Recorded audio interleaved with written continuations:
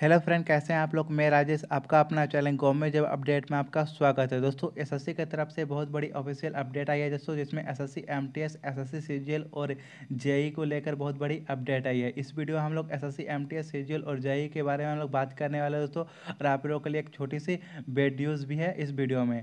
दोस्तों, आपसे एक छोटा सा रिक्वेस्ट किया जाए मेरे चैनल में पहली बार विज़िट कर रहे थे प्लीज़ चैनल को सब्सक्राइब करके बेलाइकन को प्रेस ज़रूर कीजिएगा।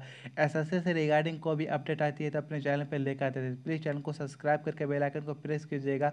वीडियो पसंद आए इसको लाइक और शेयर ज़रूर कीजिएगा। चलिए दोस्तों, देखते हैं दो अपडेट क्या आई है। देखिए फ्रेंड, पहली नोटिस आपका जो है निकाला गया है जूनियर इंजीनियर मल्टी मल्टीटास्किंग और आपका कंबाइंड ग्रेजुएट लेवल का जो है आपका टेंटेटिव रिज़ल्ट डेट दिया गया था। आपका जो है 9 अप्रैल का आपका जूनियर इंजीनियर का रिज़ल्ट आने वाला था। मल्टीटास्किंग का आपका जो है पेपर टू का रिज़ल्ट तीस अप्रैल को आने वाला था और आपका जो कंबाइंड ग्रेजुएट लेवल का आपका रिज़ल्ट जो है आठ मई को आपका आने वाला था। इसी के रिगार्डिंग आपका इसमें लिखा हो गया है दोस्तों, इसमें देखिए आपका रीजन दिया गया है कोविड नाइन्टीन पैडमिक के बारे में, जिसमें लिखा है जूनियर जूनियर इंजीनियर का जो है examination 2018 18 paper two could not be declare 9 April, आपका जो है 2020 further result of other two examination, यानी कि आपका जूनियर इंजीनियर और अदर टू, यानी कि आपका multi task combined graduate level का जो एग्ज़ाम है, वो can not be declare the schedule जो शेड्यूल में जो आपका जो दिया गया है डेट ये शेड्यूल आपका जारी नहीं होगा। यही आपका इसमें बताया गया है।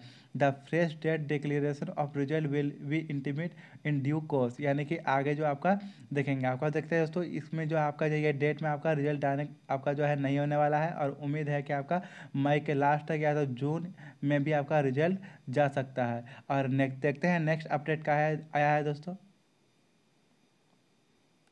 नेक्स्ट है आपका फ्रेंड के स्टेटस इसमें आपका दिया गया है कि रिज़ल्ट कब कब डिक्लेयर हुआ था और कब कब आपका डिक्लेयर होगा। तो चलिए हम लोग नीचे देखते हैं। नीचे भी सेम ही दिया गया है फ्रेंड जैसे इसमें दिया गया है कि मल्टी टास्क आपका तीस अप्रैल को आना था और इसमें आपका फ्रेश डेट नहीं दिया गया है। जूनियर इंजीनियर का भी आपका नौ अप्रैल को आना था और का कोविड नाइन्टीन के चलते आपका जो बोला है, फ्रेश डेट आपका देंगे। कंबाइंड ग्रेजुएट लेवल का, टीयर थ्री का आपका भी बोला था कि आठ मई को देंगे तो उसका भी आपका नहीं दिया गया है।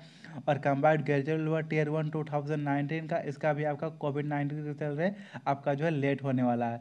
तो फ्रेंड बता दें, आपका जो, इसका सबका, आपका जो है तीन मई तक यदि सब कुछ लॉकडाउन ख़त्म हो जाता है तो मई के लास्ट तक में आपका ये सबका रिज़ल्ट आ सकता है नहीं तो आपका जून भी पहुँच सकता है फ्रेंड तो और भी हम मेरे ख्याल से लेट होगी फ्रेंड तो इसी के बारे में हम इस वीडियो में बताने वाले थे तो वीडियो पसंद आए तो इसको लाइक ज़रूर कीजिएगा फ्रेंड और चैनल में पहले और विज़िट करें तो प्लीज़ चैनल को सब्सक्राइब कीजिएगा।